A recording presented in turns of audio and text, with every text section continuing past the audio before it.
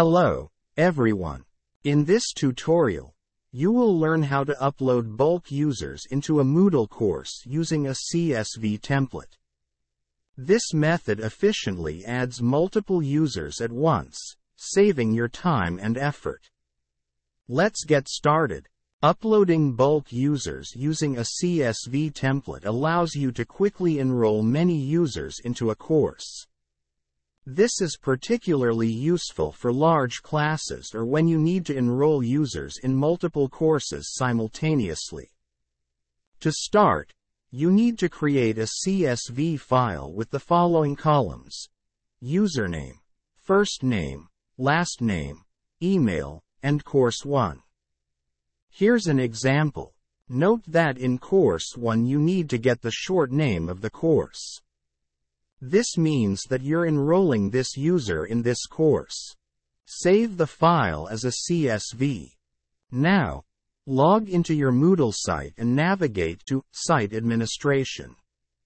Click on Users, and then select Upload Users.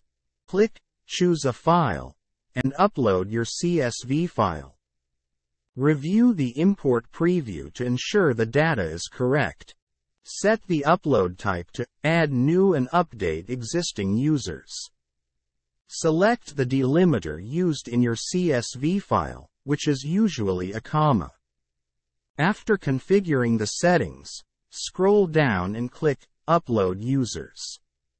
Moodle will process the file and display a summary of the users to be uploaded.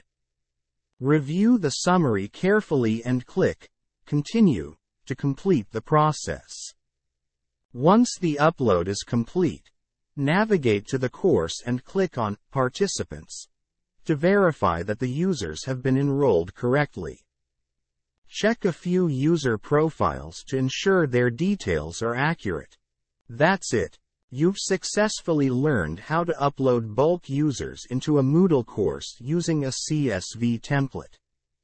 This method is efficient and can save you a lot of time when managing large classes. Thanks for watching, and happy teaching with Moodle.